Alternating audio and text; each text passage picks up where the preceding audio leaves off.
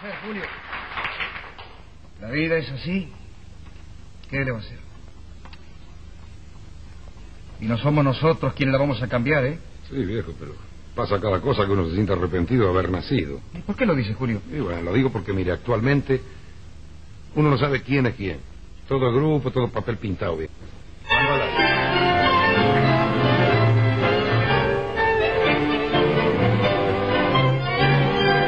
Audiencia pública sobre autovía de montaña en el Valle de Punilla, Córdoba, Argentina. Viernes 11 de mayo en Santa María de Punilla. Fernando Barri, biólogo perteneciente a Adarsa, amigos del río San Antonio del sur de Punilla, eh, biólogo, y fragmentos eh, de lo que sucedía en esta audiencia, con la voz de sus participantes. que comparto con el ISPI. No sé si ha quedado alguien del ISPI aquí este, para escucharme, pero bueno, me tendrán que escuchar a la hora de las preguntas. Eh, y eh, me gustaría antes que nada a la, presidenta de, de la mesa que conste en acta que me gustaría que en el acta final quede, eh, ustedes puedan demostrar la evidencia del orden cronológico en que se fueron inscribiendo los participantes, dado que yo el día que se comenzó la inscripción me anoté 9 y 30, cuando la inscripción arrancó a las 9, y este, estoy 137, entonces me gustaría que esté la prueba fehaciente de que todas las personas, desde el número 1 hasta mi llegada, se anotaron antes que yo con los mails, los correos electrónicos correspondientes. Eh, voy, a, voy, a tomarme, voy a tomarme un minuto para, para, para el objeto que, nos, que la ley fija, para la cual tenemos que estar aquí presentes, que es hablar del estudio de impacto ambiental de los documentos que ha presentado el proponente, Vialidad Provincial, a través del Instituto El ISPI. ¿sí? Eh, a nosotros nos compete generar objeciones o fundamentaciones respecto de ese elemento. Todo lo demás, y que conste en acta, no es objeto, no debería ser objeto por improcedente del acta final de este procedimiento. Es decir, todas las opiniones de cualquier otro tipo, según la ley de política pública ambiental, no corresponden. Lo segundo que quiero hacer mención, que es muy importante, es el, el sentido de las evaluaciones de impacto ambiental. Las evaluaciones de impacto ambiental son una herramienta que se han desarrollado en el planeta Tierra a partir del sufrimiento de la población humana, acá se ha hablado mucho de sufrimiento, muchas vidas humanas que se han perdido, caso Bhopal, caso Cebeso, bueno, no, no me voy a, a detener en eso, donde la humanidad comprendió que hay que evitar determinados proyectos que generan daños irreversibles, ¿sí?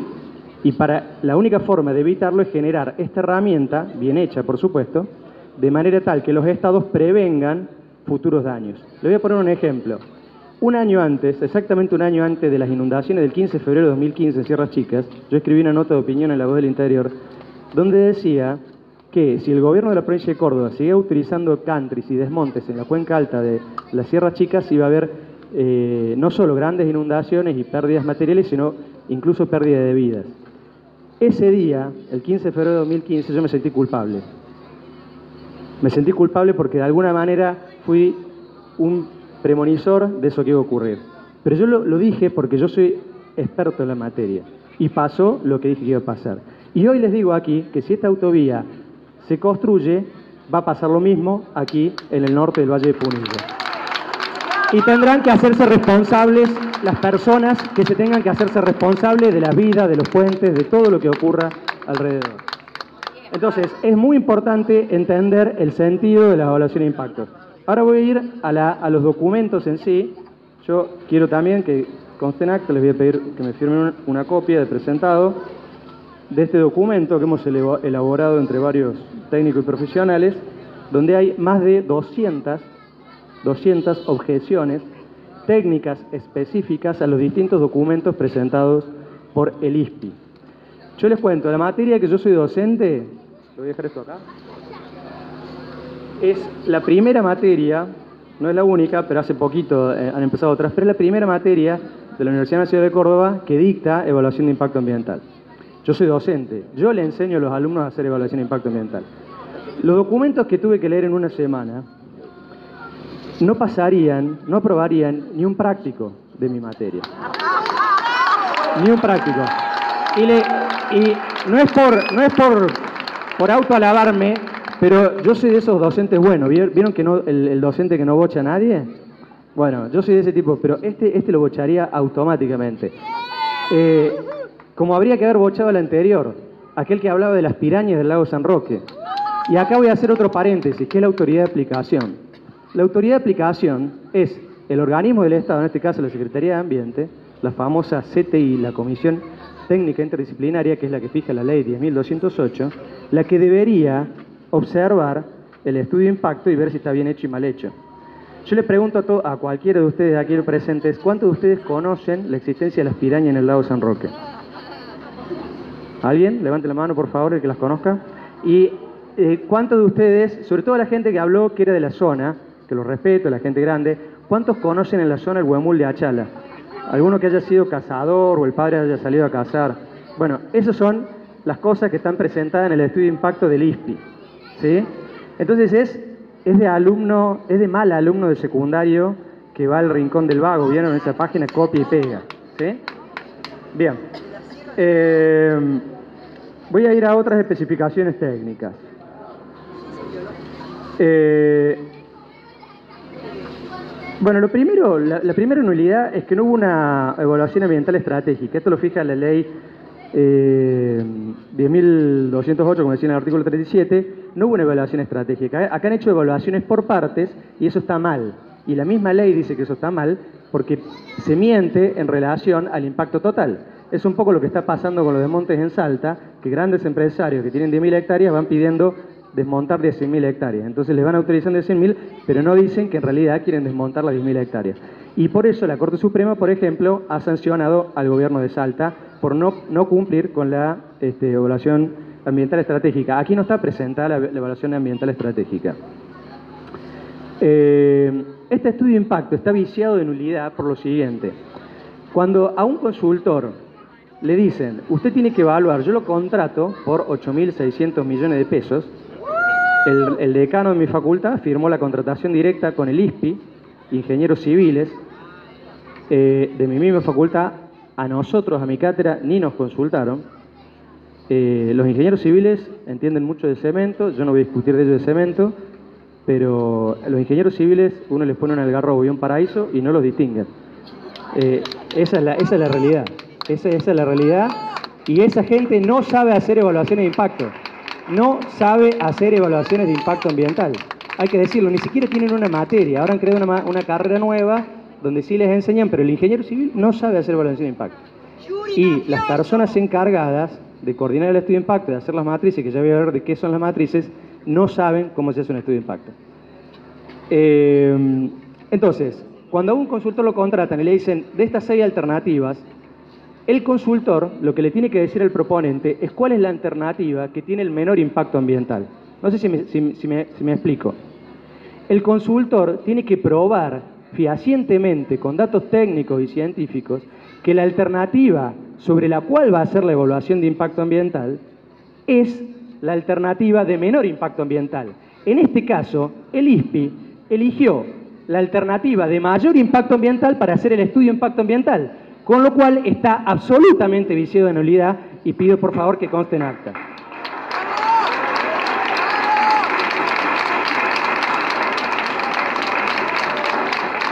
De los dos elementos con lo cual se pondera, porque acá se ha hablado mucho, pero yo no sé cuántos han leído todos los documentos que yo me tuve que leer esta semana, hay un, un documento que es la ponderación.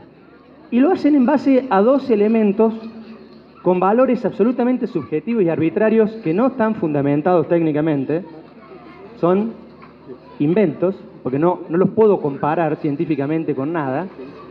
De esos dos, uno solo es ambiental y es el que más impacto les da, que es el suelo. El resto son circulación, costo, otras cosas, y por eso eligen la autovía de montaña. La autovía de montaña pasa por la zona más crítica, pasa por un casi un 80% de bosque nativo, pasa por el yacimiento Rodolfo. Todos esos elementos no fueron contemplados en la ponderación. Insisto, eso hace nuevamente que el estudio de impacto ambiental esté absolutamente viciado de nulidad. Eh... Bien. Vamos a, otros puntos. Eh, bueno, hay muchos errores, copiar, pegar, eh, plagian información de otros estudios de impacto, ha- ponen citas que no están en el documento. Eh, pero algunas otras cosas críticas que obviaron y que la ley se los exige, la participación ciudadana. Participación ciudadana no es que el intendente de Vialet Mase, con todo respeto, quiera un mirador. Participación ciudadana es brindarle la información a toda la ciudadanía que no la tiene y generar estrategias y consensos a partir de los cuales se genera eh, la estrategia de participación ciudadana. Eh, bueno, recién estaba hablando con el, presidente de la CNEA, la Comisión Nacional de Energía Atómica. De vuelta, él dice lo que está en el expediente, que también lo fuimos a ver, de que ellos dicen que si no se toca un gramo de tierra, ellos no tienen objeciones. Pero si se mueve un gramo de tierra, ellos se van a poner en contra. ¿Bien? Los documentos, la pregunta que vuelvo a hacerle a todos los que me han predicido con la palabra es si lo han leído, porque en los perfiles transversales, les explico qué es el perfil transversal, los ingenieros dicen, tengo esta pendiente, si la ruta va así, tengo que hacer un corte así para que la ruta vaya plana. ¿Me explico? Bueno, los perfiles transversales calculan que por toda la traza del yacimiento Rodolfo, algo así como 5 kilómetros, van a tener que mover 80.000 toneladas de suelo, es decir, 80.000 camiones van a tener que mover por toda la traza de la mina Rodolfo. Y obviamente el, ingeniero Álvarez este, no, supo qué decir al respecto porque no leyó, confesó que no leyó la propuesta técnica donde dice, dice la propuesta técnica que van a mover 80.000 toneladas de suelo sobre el yacimiento Rodolfo. Ya habrá compañeros y otros profesionales que hablarán de los efectos en la salud.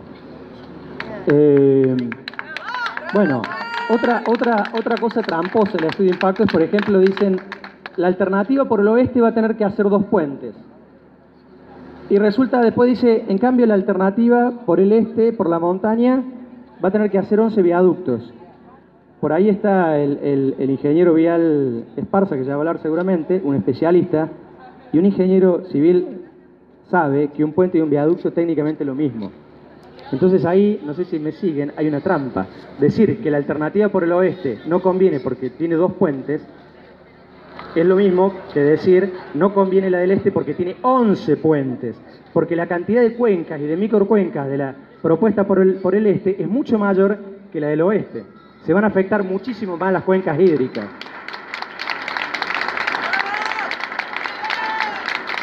Bueno, hacen, utilizan un método para el cálculo de la contaminación del aire que está mal, se llama método Ardiol, no importa, se van a marear, no los quiero marear.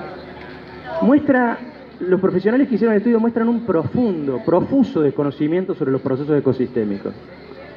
Muchos aquí saben lo que es el, efecto de esponja, pero para los que no sepan lo que es el efecto de esponja, básicamente es lo que decimos los hippies ambientalistas, que el agua viene del bosque.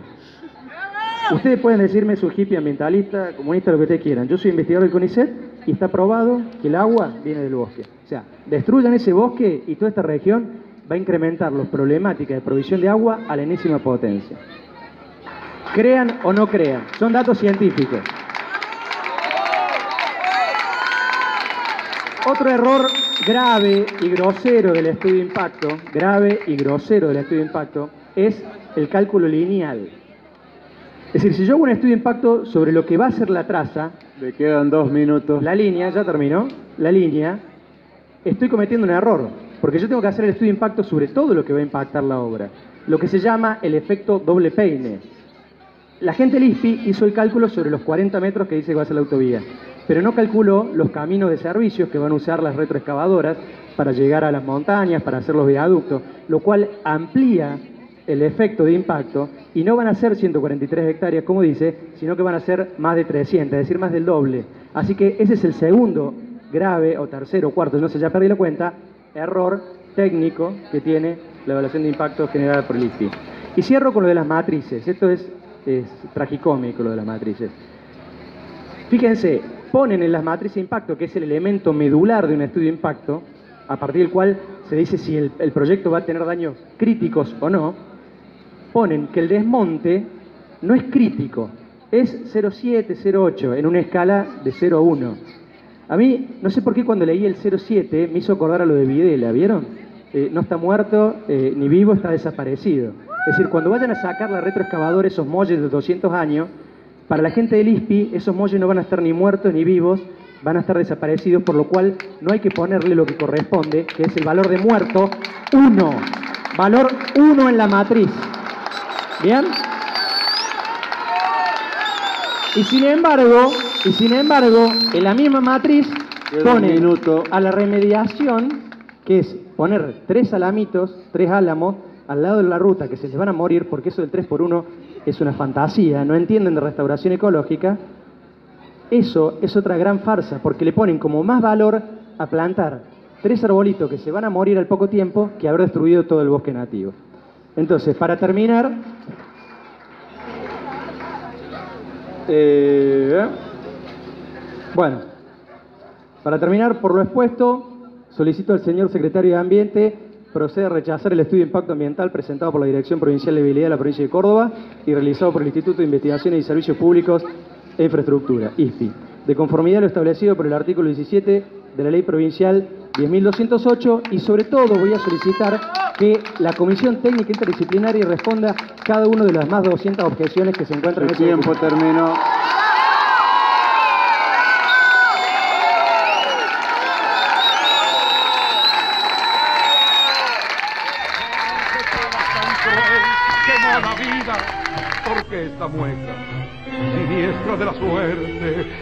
Quise abrigarla, y más pudo la muerte. Ay, cómo me duele y ahoga mi herida. Yo sé que ahora vendrán caras extrañas con sus limonas y alivia mi tormento. Todo es mentira, mentira es el lamento. Hoy está solo mi corazón.